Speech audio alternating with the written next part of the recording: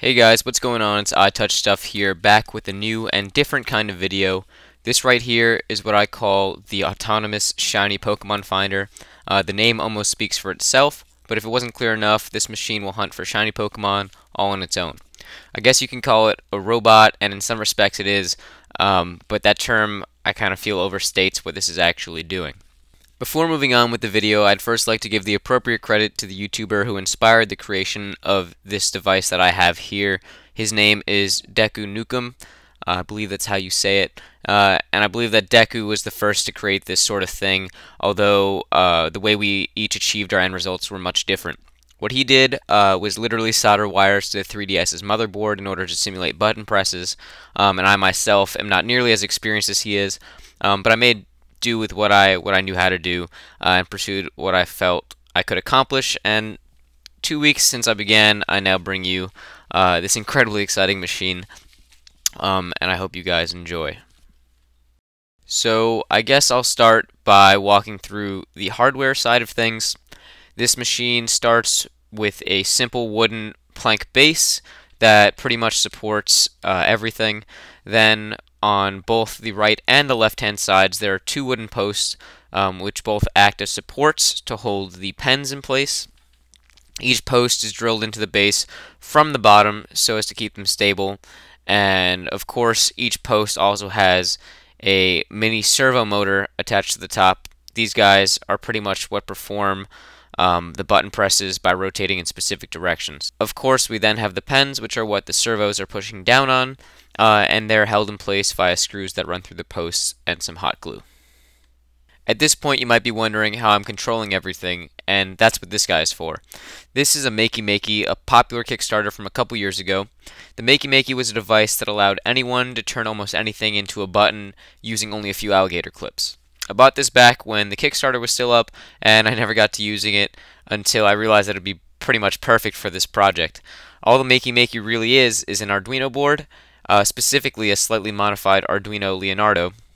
And after a quick install of the Arduino IDE, I was able to wipe all of the prepackaged Makey Makey code and start new with a fresh microcontroller um, that I could use however I liked. Continuing with the hardware side of things, the Arduino slash breadboard setup is incredibly simple.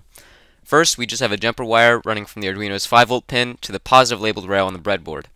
Similarly, there is a jumper wire connecting the Arduino's ground to the breadboard's negative labeled rail. With those two rails all set up, each servo is then powered by plugging their positive and negative leads into the breadboard slots along their respective rails. One analog pin is needed in order to read from the photocell or photoresistor, which is used to sense light intensity. Next, one end of the photocell is connected to the 5 volt power via the rail, and the other end is connected to the ground with a 10k pull-down resistor in between. If you're curious, the pull-down resistor is necessary here in order to keep the value read from the photocell from fluctuating without reason.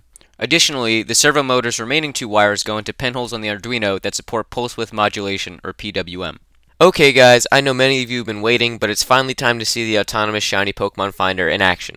As you may have noticed, the machine just brought up the Pokemon Party, navigated to, and used Sweet Scent. We can see here now, as soon as the bottom screen goes black, that's when the program stopwatch, so to speak, begins.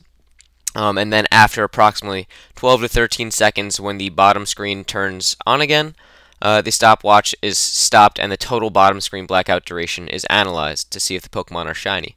Um, so because there are no shiny Pokemon found with this encounter, the program decides to run away and start the whole chain or cycle all over again.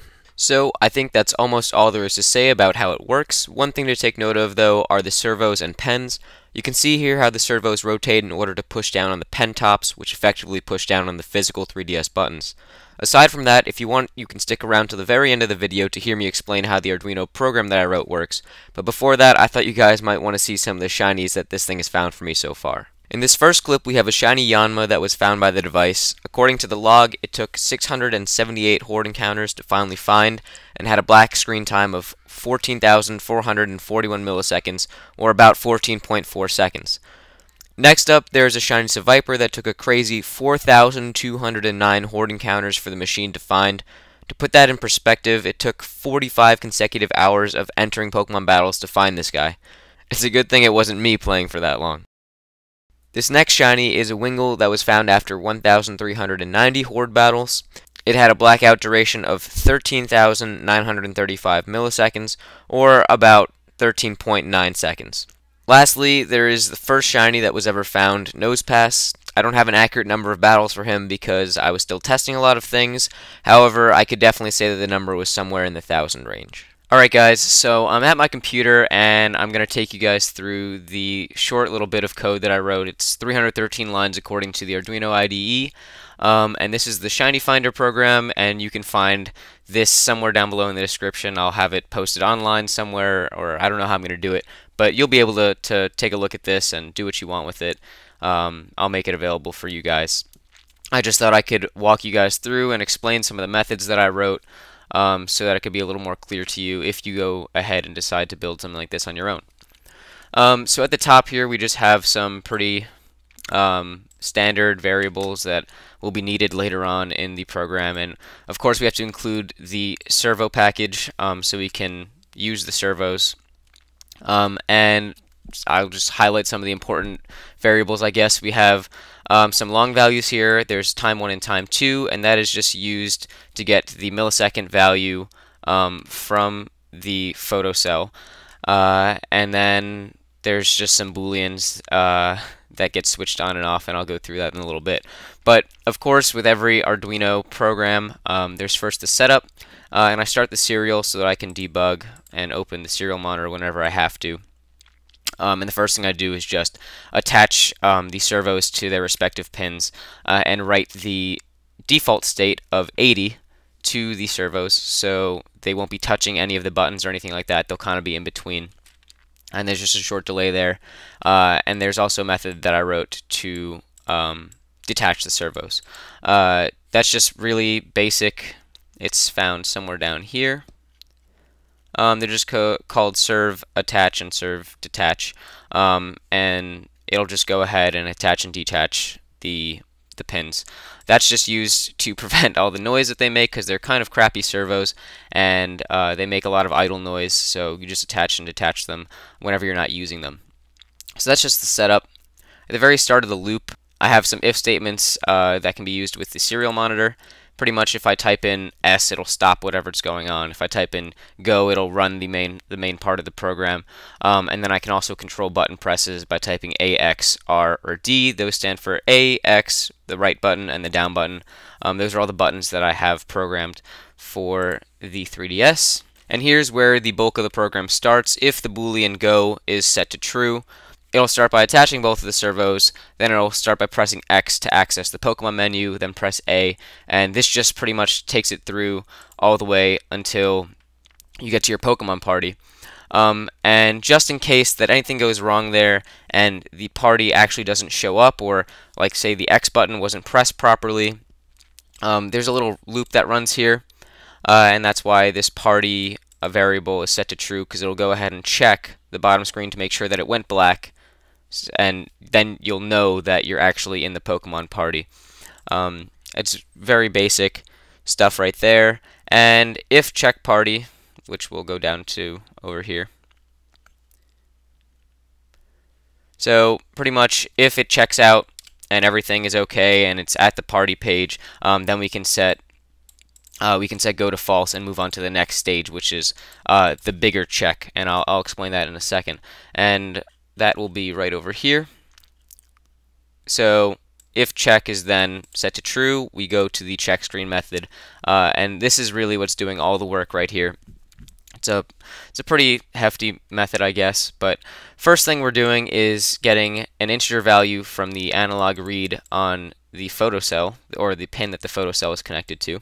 So that'll give us a value between 0 and 1023, 24, uh, I think it's 23 and then just that'll keep looping over and over again and reading the cell value from the photocell um, until it drops to a value of about 150. So normally when it, the photocell is just resting on top of the DS, it should have a, an idle value of about 600. Uh, and when the bottom string goes black, as soon as it drops to 150, it's going to start a timer by using the millis function. That'll read uh, the current millisecond value of the Arduino since it's since it first started. So that'll be set to time one. Uh, and then there's a short delay here because we don't really need to to keep looking uh, at the at the bottom screen. We'll know it, it'll be black for at least five seconds. uh, and then I have this this method that I call black screen, um, and pretty much that's that can be found right here. And it just it just loops as long as the the bottom screen stays below that 150 or the value of 150. And so essentially, as soon as the bottom screen turns light again, or we know that we've entered the battle and the animations are have finished, um, that's when it's going to go ahead uh, and just return the second millisecond value. Um, so time will have progressed since then, so the amount the Arduino has been running for has obviously gone up. And we can subtract the new time from the time that it actually started checking, and then we'll get a, a value of around between 12 and 13 seconds, and that's essentially how long the animation was played for. So that's going to return some value over here and set that equal to an unsigned long, uh, which I just call black time, or the time that the screen was black for. And then uh, pretty much it'll check to see if it's shiny. The parameters that I have it set to right now are is if the black time or the screen duration um, is anywhere between 13.5 and 14.7 seconds, then we'll go ahead and determine that it's shiny. That's just some values. Those are just a pair of values that I've tested. Um, and uh, of course, there, there might be some area where that value won't work, but I'll have to wait and see. Um, and then of course, if it's just if it's not a shiny, if it's anything other than those val anywhere between those two values, um, then we go ahead and run away from the battle um, and just set the counter to increase. So the next thing I'm going to explain in this part of code is actually what takes up the majority of the lines. Um, pretty much because all the statements are just manual statements that I've, I've had to write out. Um, they can't really be uh, looped or anything like that. And pretty much I had this idea, instead of using, say, an annoying buzzer to alert me when a shiny's been found, um, I could just have a very simple text message that comes right to my phone. Um, and since I have my phone always on me, uh, it's pretty pretty helpful, and I don't even have to be anywhere near the the device itself. So that's accomplished by sending email text messages. This is just the way that I'm doing it right now, and it, it seems to work. It it can be slightly annoying, but essentially the Arduino can also control computer, keyboard, presses, and mouse movement. So when it is a shiny, it'll of course begin the mouse and then click on the compose button in this email and start typing the number 9 um, which will auto highlight my number. I, I just deleted it for now, but it'll it'll highlight my number, my my phone number at my carrier's um, address, and that'll be the the person that it's sending it to, otherwise my phone. Uh, and then in the subject, it'll just type shiny with an exclamation point, and then tab down to send and hit enter, and that message will come right through to my phone. Um, and that's that's only if it's shiny. If it's anything else, I'll walk you through that. It's gonna press some commands to run away from the battle, uh, so that I can restart the whole process over again. But on top of that, every 100 battles that it's gone through, it'll send me a text message alerting me the highest uh, millisecond blackout time that it's read so far and the count or, the number of encounters that it's gone through uh, so far. And that's just achieved by using the modulus function um, where I take the counter, which is the number of encounters that the program has gone through so far, and dividing it by 100 and checking the remainder. And if that remainder is 0, otherwise saying if it's divisible by 100, um, then go ahead and send me a text message. And that method is called send 50 message um, because I used to have it send every 50 battles, but recently changed that to 100. Now I don't need to test it as much anymore. Um, and that comes down and does the same thing every 100 battles. It'll go and compose a message, um, type in my phone number, uh, and then go ahead type in the subject the counter. So let's just say it's at 1,100 uh, encounters. It'll type a dash, and then it'll go ahead and give me the, the highest millisecond value that it's read. Let's just assume that it's 13.3. Uh, and then I'll go ahead, tab down, and send that. And that'll come right to my phone. Um, and so I thought that was pretty neat that I, I was able to do that um, just using the Arduino.